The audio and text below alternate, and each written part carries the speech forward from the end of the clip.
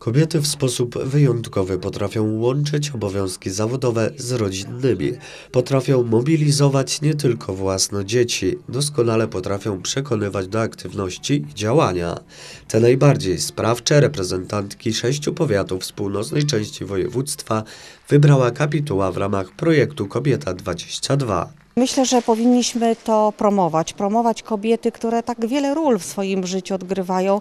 Każdy z nas, mężczyźni również, e, ale to tylko kobieta może dawać e, e, to, to, to życie tak osobiście i, i to ona dba o to środowisko domowe, tworzy to ciepło, ale również to ciepło w życiu społecznym.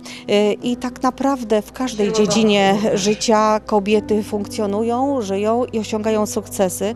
Chcemy to pokazać. Organizatorem gali podsumowującej projekt był Park Kultury w Starachowicach, a partnerem Fundacja Orlen. Chciałabym wszystkim paniom, które zostały laureatkami, serdecznie pogratulować.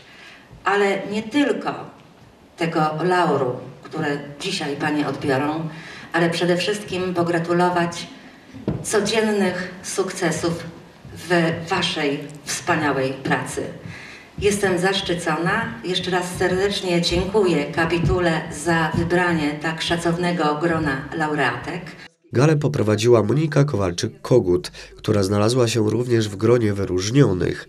W ścisłej czołówce znalazło się 10 pań, reprezentantek kultury, sztuki, edukacji, sportu, zdrowia, a także pomocy społecznej, pracy z osobami niepełnosprawnymi, kultywowania tradycji i rodziny. W tym naszym regionie jest mnóstwo kobiet, które działają, które są ważne i które rzeczywiście tworzą historię. Taką historię, która tak, dzieje się na naszych oczach. Tak, ponad 20% żołnierzy ukraińskich to kobiety.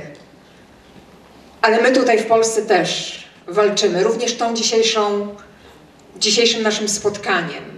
Laur Kobieta 22 otrzymały Magdalena Kordek, Bożena Magdalena Mruzek, Elżbieta Baran, Alicja Wikło, Katarzyna Bojczuk, Małgorzata Basak, Elżbieta Tomasik, Barbara Romanowska, Danuta Rączkowska, Katarzyna Bujak. Kapituła przyznała również pięć wyróżnień. A jak kobieta wspiera kobietę i jeszcze ją docenia, to jest przepiękna energia się tworzy wtedy.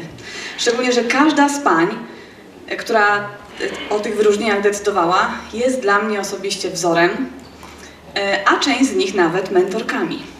Dziękuję też za organizację tej przecudnej gali. Wiem też, jak to jest być organizatorem. Więc dzisiejsza gala naprawdę, naprawdę, Szanowni Państwo, serdecznie gratuluję, bo to jest y, niesamowite wydarzenie. Podczas gali nie zabrakło również solidarności z Ukrainą, wyrazem której był okolicznościowy koncert.